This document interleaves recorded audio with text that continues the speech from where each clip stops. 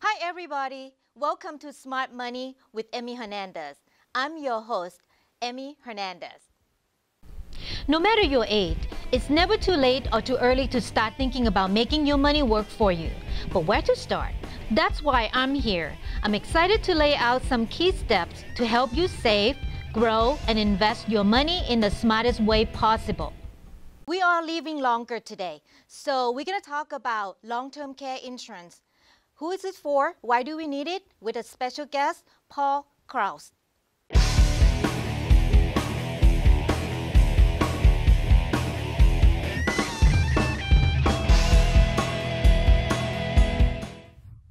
There was an article in Wall Street Journal recently about long-term care insurance. Say that it isn't dead, but it become an estate planning too. So today we're going to talk about that a little bit because we are living longer and perhaps maybe we're going to end up in a long-term care facility. We don't know. So I have a special guest with me today, Paul Cross. Paul ran facility, a nursing home facility, and um, several facility in the area, and he's going to help us digest into um, all this technicality and what's going on with the industry. Hi, Paul. Hello. Thank you for being here today. Thank you for having me. So, um, you were running a nursing home facility. Yes. Uh, how many do you run in the area? So we have three assisted living facilities in Upland. Okay, perfect. So, um, like I said, you know, in the recent newspaper, they talk about long-term care that people are getting Mhm. older, and when they get to older and they have to go back and um, go into a nursing home facility, Mhm. there's a lot of expenses there. Very much, yes. Yeah, can you explain a little bit about, you know, like in your facility, how do people usually come to you? Yeah. So we have um, we're considered board and care homes. So what they are basically, um, we kind of different than a, a large facility where we have more hands-on help and more more long-term care, I should say. Um, our, most of our patients are um, they have severe Alzheimer's, dementia, um, hospice, or just mild retirement as well. Um, but I see a big difference um, compared to us from a large facility where it, when it does turn into long-term care facilities. Okay. Yeah. Is there a particular age group that you see? Yeah, I'd say average. I'd probably average at 85 and higher. 85 years. and higher Yes. that's come to your facility. Yeah. So that's kind of like a later state, correct? Correct. Yeah. Okay. Um, and might be a funny question to ask, but do you also have like more male or female? All female. There you go. 95% of my industry is all female. Right. See, that's that's that's one thing I keep telling my client. You know, women live longer, and we may have to plan. Mm-hmm. You sure do. Yeah. Yeah. So when the male patient come into your facility, they're pretty popular then, huh? I have three right now, three males, and that's a lot actually, to be honest. Oh wow. Yeah. Okay. Okay. Um, what about the um, the type of payment, Mhm. or um, did they get any? You, they get any help from um, Medicare? Does Medicare taking any any care of of this? So currently, right now, um, our industry we're not allowed to accept insurance yet. So all the benefits and everything go directly to the family, um, to the des- to the designated point of uh, power of attorney, and so all the funds go directly to the family, and then the families pay us privately at that point. Okay, but when you said that you're not allowed to accept insurance, it doesn't mean that they shouldn't have the long-term care insurance, though, right? Because Totally agree. Yeah. Yeah, long term care insurance I see as a huge weight off people's shoulders when they come. Um, a lot of families that come to me, they're looking at how mom and dad can afford to stay at a facility for a few years. Okay. And um, I noticed when people have long term care insurance, it is a huge weight off their shoulders. Okay, so basically, when you said that you not accept mean, meaning that the family actually the one that dealing with the, the Correct. insurance and then just you know pay you. Yeah, we'll fill out the forms. The families will provide me forms to fill out on their behalf. Okay. And I submit those back to the family or directly to the insurance companies. But Great. yeah, we're not allowed to bill insurance yet ourselves. It's coming up soon. Mm-hmm. Um, I hope it is. Okay. Yeah, they've been working on it for about 10 years now. So it, it's coming close. So Okay. I'm looking forward to that. Well, coming back and talk about that a little bit, but what I I would like to know now because there's confusion with my client. Mm-hmm. When I talk about long-term care insurance, they always tell me, "Well, you know, Medicare gonna pay for it." Mm-mm. But from what I know, that if you being hospitalized for let's say three days, Mhm. and then the doctor said you have to go to rehab, rehab that's when Medicare actually Mm-hmm. Correct. after that. But it's certain period of time, right? How long does it? An average of 100 days a year. Hundred days. Yeah. And the first twenty days is usually one hundred percent that they pay for. Yeah, I've heard different conflicting stories on that where um, 20 days is usually covered 100%. Mhm. But what I've heard is that it's more the condition you're there for. Okay. I, mean, I believe it's for more people that are elderly that might say have a broken hip, and if they go to rehab, they know they're not going to might get a full recovery, so they don't need to spend three or four weeks in a skilled nursing facility for rehab, but a shorter stay. Okay, Yeah. okay. So, but for people that need to stay longer than that, Mhm. then after 20 days, they need they have some type of copay, Correct. right? So Mhm. family have to pay for some and pay, pay, pay for that. Correct. Up to 100 days. Mhm. After 100 days, if they still stay in your facility, then they'll be on their own. So what happens a lot with me is I see a lot of families that go they use, they use up their 100 days pretty fast throughout the years, going back and forth to the hospitals, back and forth to rehabs. Okay. And so uh, the problem I see a lot happen um, right now. I'm currently dealing with it with her family. Um, she needs to be in there about another 10 days, and she's already exhausted her 100 days. So right now they're paying about $400 a day to just be in the facility without getting too much care. And um, not my facility, the skilled nursing facility, the rehab, and they're paying about $400 a day um, for those 10 days before they can actually come back to their home, to my home where they live. Okay, okay. And some people also said that, well, you know, if I don't have um, the, the resource to pay for that afterwards, then uh, Medicare or the government will pick up. But I think Mm. that's kind of like to be your last resource, right? You don't ever want that to be your last resource. You really don't. I mean, and uh, to be honest, it's not the facilities that I would never, I would never want to send anybody I love to a Medi-Cal facility. And I don't mean that in a derogatory way. I mean it more. There's not that many of them. Uh-huh. So it's really hard to find those facilities. I mean, like very hard. I've had people looking for months to find an open facility with an open bed, and when they're there, they literally are gone within two hours to reserve that bed because there's just a shortage of beds. Oh, really? Yeah. So is that that's true that if you run a facility Mm-hmm. and if you like you in, in your case your your facility is a private pay. Mhm. If you have one bed that take Medi-Cal Mm-hmm. Do you now have to open up to more? Is there a regulation for that? Well, it's called a, the ALW, the Assisted Living Waiver Program. Uh-huh. And right now, there's about this many homes that are allowed to have them. But there's a new bill on the ballot right now that's going to open them up a lot more in California. So it just, I believe it just passed like recently, within a couple weeks, that the bill just passed, and they're going to open up more. Um, it's more like a, a, a testing period right now. They're trying to see how many they can actually open up and how many people are on board with actually running the program correctly. That's interesting. Mm-hmm. What are the qualification in order to be in that part of, of uh, you know, open up that type of home? for me to open that, um, well, for one, if I can get on the program, I do that. And to be honest, with California, it's just a lot of paperwork. So doing a lot of paperwork, getting certified that I can actually be on the program. At that point, I can start accepting people on the waiver program. And then you're gonna have now you build the government directly then with that. Yeah, yes, and no. So it, it's really up in the air right now. So up in the air enough to where, put it this way, I've had there's about 30 of my friends that do this for a living, and I have one friend that has she's on that program, one, and she was on it for I, I want to say about eight months, and recently within the last two months she dropped off the program because it was such a fiasco for her to getting paid in time. Um, so it's just not quite there yet. It, I, I, what I hear is about two more years until it's actually in the mainstream. Um, but I believe what they look at more is the operators of these board and care homes, which are more long-term care facilities. Um, they're not quite sure how to bill insurance quite yet, so they're trying to make the program more easy for everybody to get onto it, so it runs smooth. Okay, so that's a lot of red tape still right now. That's you don't all know it what's is. going on. So that's why the main reason you said you should be prepared. You really don't want to have your parents or anyone that have to go into that particular situation. Correct. Go for that type of facility. Correct. Yes. Okay, that's that's very important. Mhm. So um, we're just gonna have to come back and talk a little bit more about how your uh, your own facility runs. So Sure. we'll we'll talk about that in a little bit.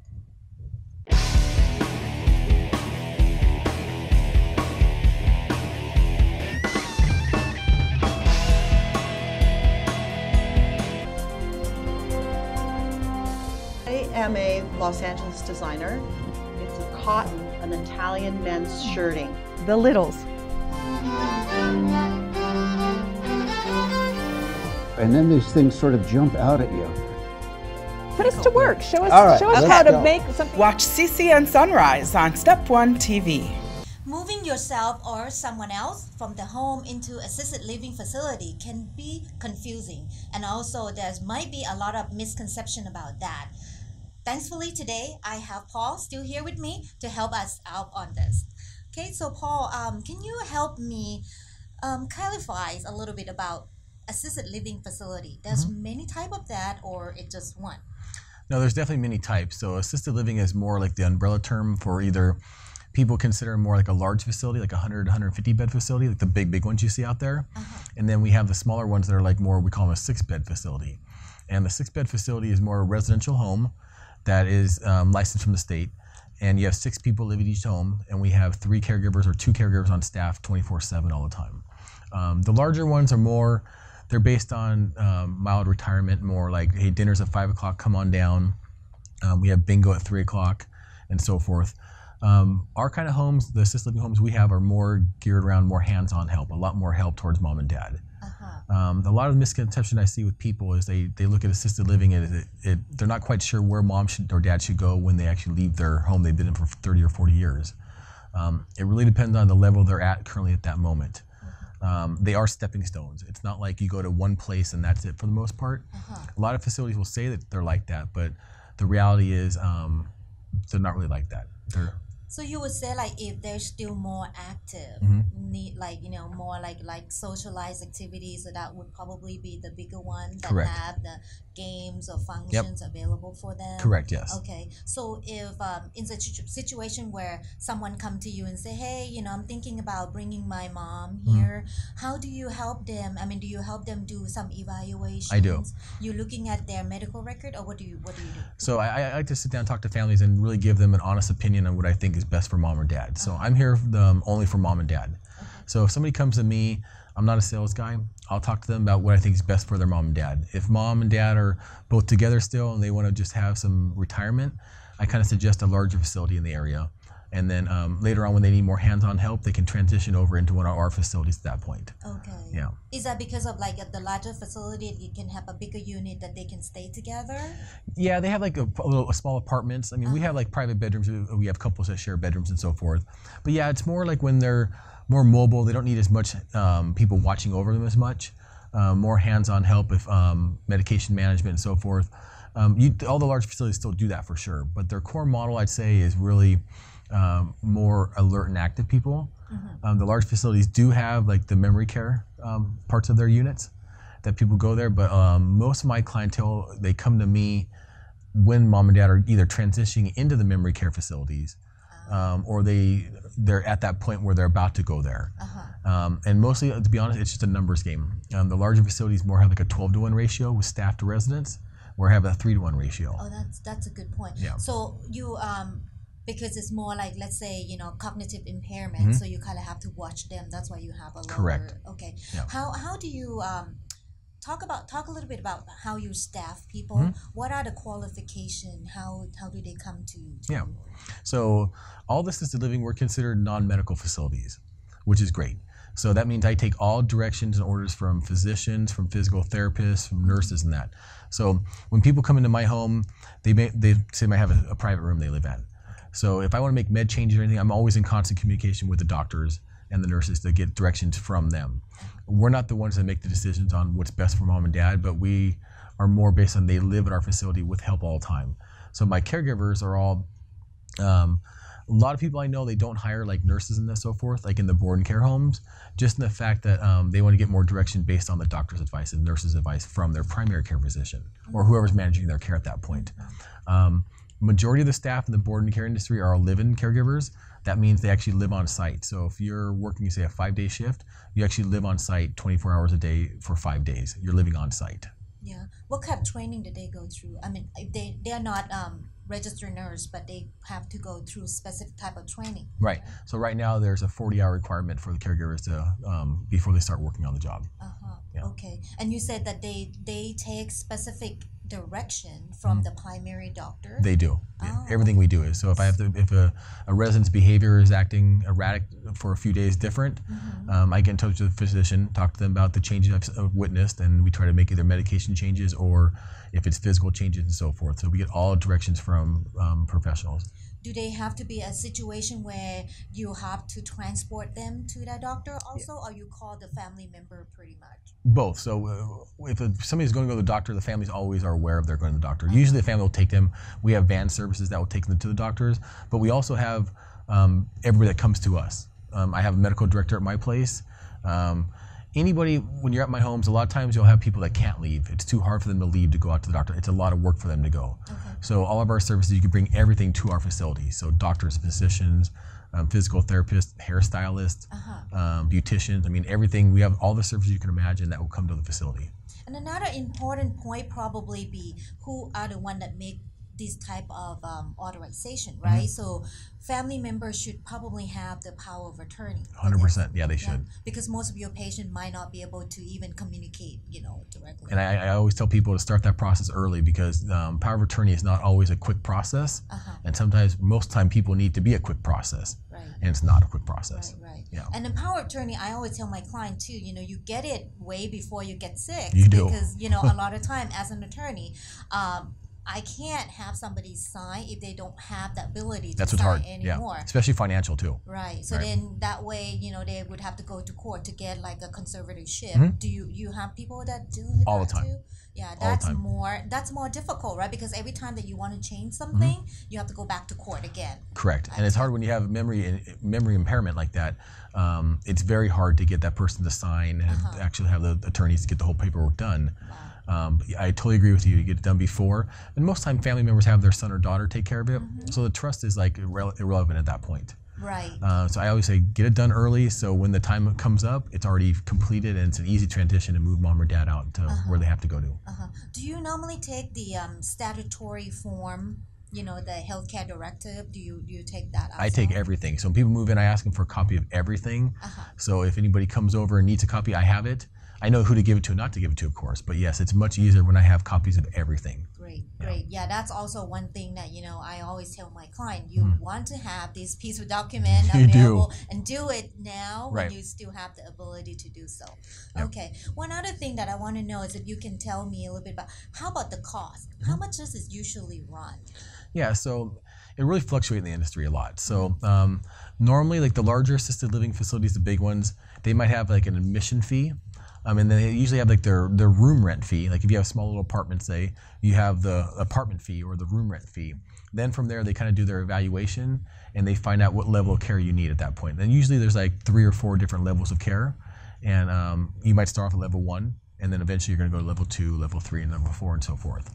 So um, the pricing model, I could say, with all honesty, is kind of like um, it's very discouraging to be, to be honest, especially with the large ones. I know a lot of my friends that have the large ones are going to hear this and not be happy with it, but um, everybody that comes to my facilities usually leaves a large facility because their price doubled in one month.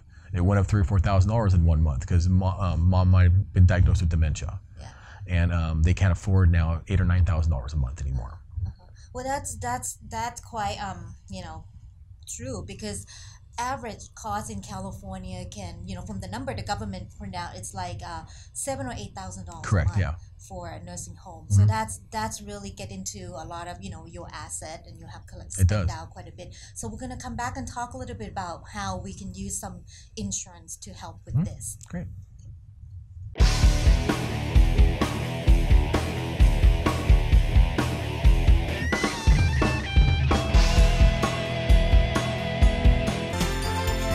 It's time for a taste of sunrise. Wow. The chefs, impeccable. The food, amazing. The show, delicious. But you guys put the T E A in teamwork. Taste of Sunrise on Step One TV.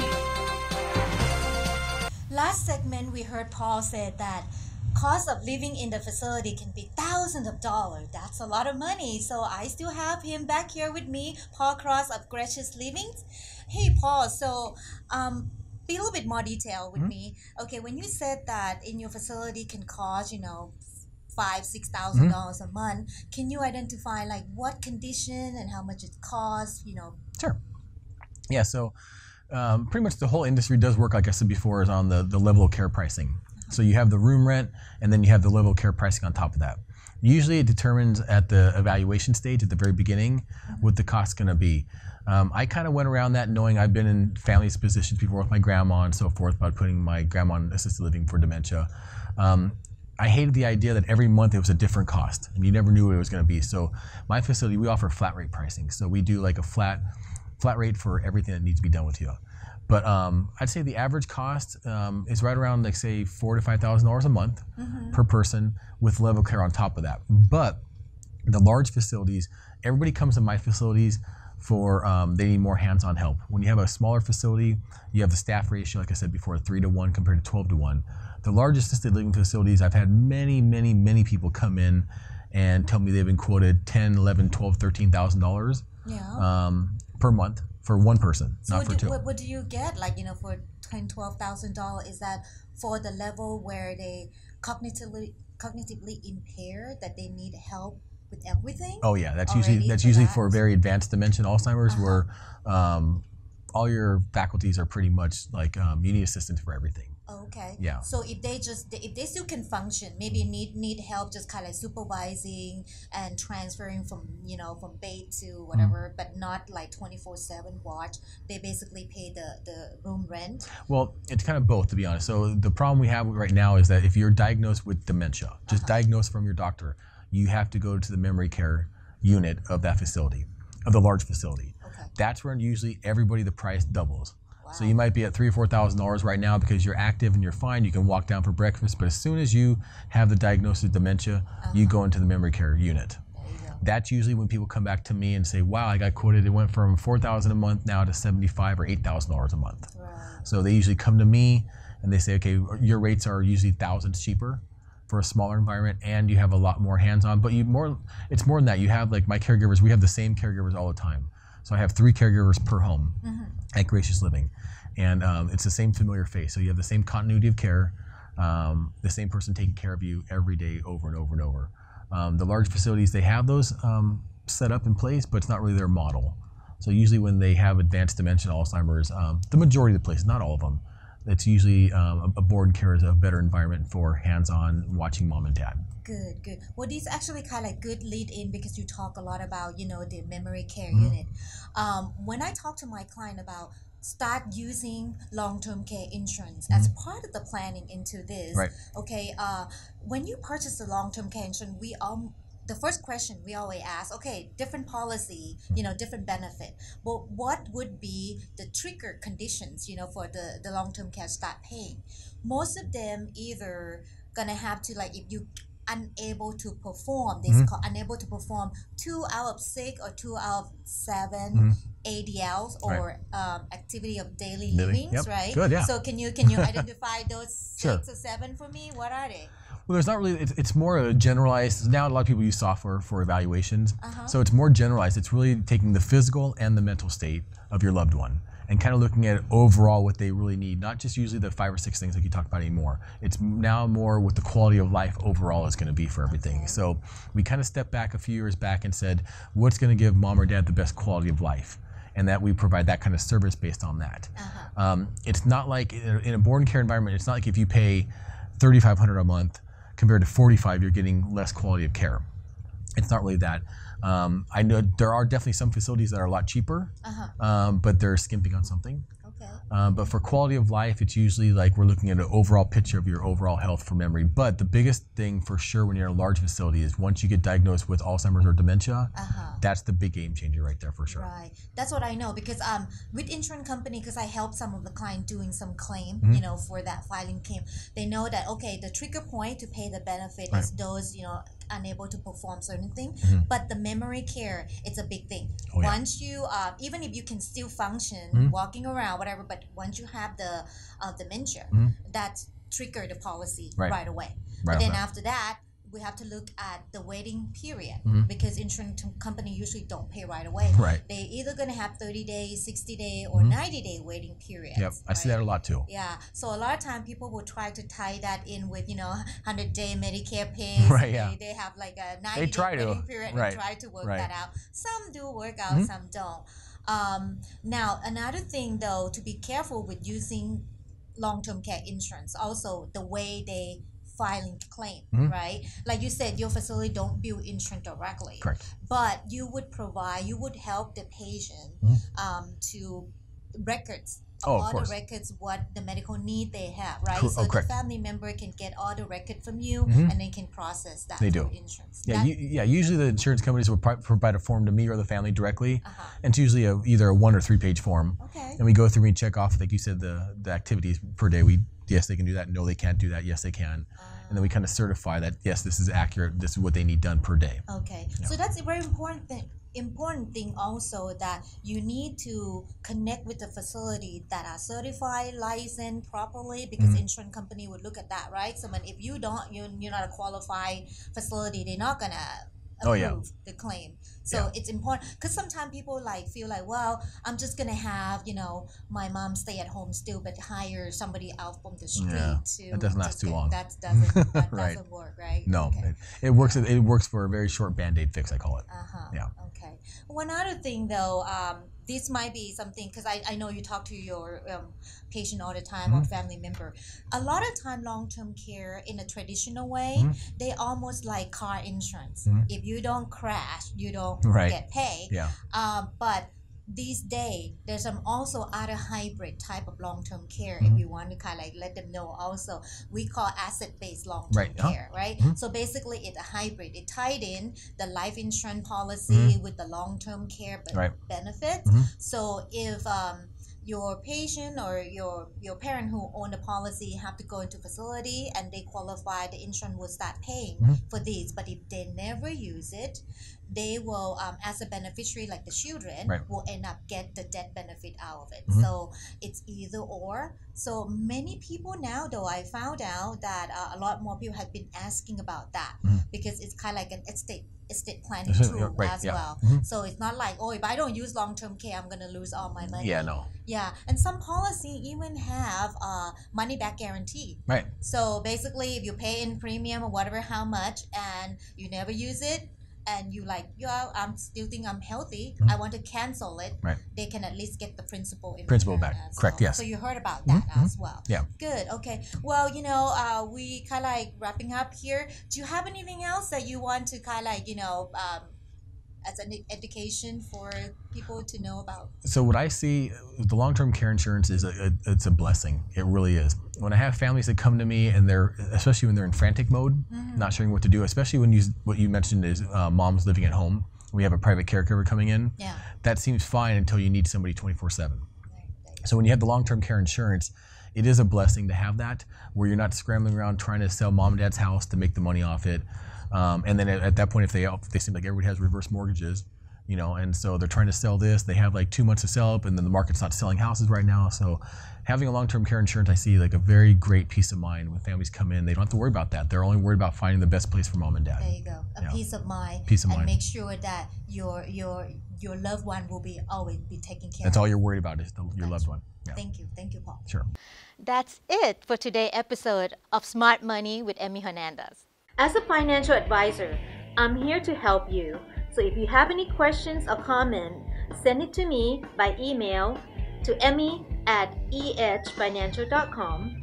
Don't forget, if you miss any part of the show, you can watch us again on ehfinancial.com or crowncitynetwork.com. Remember, being smart with your money is easy, and you can do it. Thanks for watching. See you next time right here on Smart Money with Emmy Hernandez.